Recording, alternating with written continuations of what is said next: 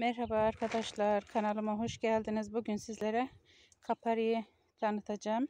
Evet şöyle başında minik minik yemişleri var. Daha doğrusu bunlar büyüyüp e, çiçek açıyor arkadaşlar şu şekilde. Evet bu şekilde çiçeklerini açıyor. Şu anda buradaki olan çiçekleri kurumuş. Şöyle meyvelerinden toplayıp bunların turşusunu yapacağım.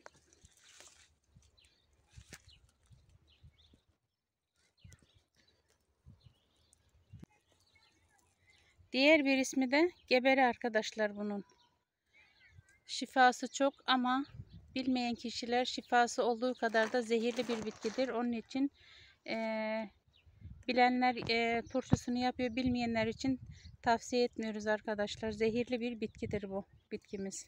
Biberilerimizi bu şekilde e, turşumuzu yapmak için bidonumuza doldurduk ve üzerine şimdi suyunu dolduracağız. Şu şekilde suyunu doldurdum. Ve bunu 7-8 defa arkadaşlar suyunu değiştireceğim. Ondan sonra 7-8 defa suyunu aynı yeşil zeytin kurar gibi suyunu değiştiriyorum.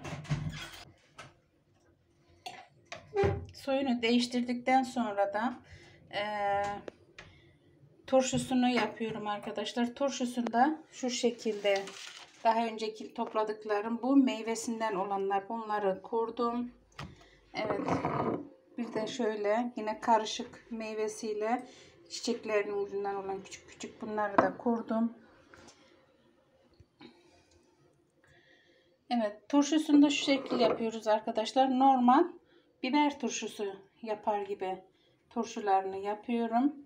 1 litre suya 2-3 yemek kaşığı limon, kaya tuzu koyuyorum. Bir tatlı kaşığı veya bir çay kaşığı da koyabilirsiniz. Az kuruyorsanız turşunuzu. Ee, şeker, çay, çaylara attığımız normal şekerlerden koyuyorum. Sarımsak koyuyorum, sirke koyuyorum. O sirkeyi kendi arzunuza göre koyabilirsiniz. Ee, ve üzerine de suyunu ilave ediyorum. Karıştırıyorum. Limon tuzu koyuyorum e, suyunuza göre, e, damak zevkinize göre ekşisini de ayarlayıp koyabilirsiniz. Ekşi seviyorsanız biraz ekşili. Ben normalde e, 5 kiloluk bidona bir yemek kaşığı koyuyorum. Limon tuzumuzu. Evet. Bu şekilde turşumuzu da yapıyoruz arkadaşlar. E, geçenki topladığım buydu arkadaşlar. Evet daha önceki toplayıp yaptıklarım turşularım da bu şekil gerçekten lezzetli. Hani e, biraz alışmanız lazım arkadaşlar. Alışamayanlar yiyemez. Çünkü biraz kokusu fazla. Evet. Bugünlük de videonun anlatacaklarım bu kadardı.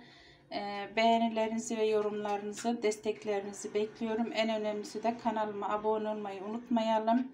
Zil butonunu açalım ki diğer gelecek olan videolardan haberdar olmak için. Kendinize iyi bakın. Allah'a emanet olun arkadaşlar. Hoşçakalın.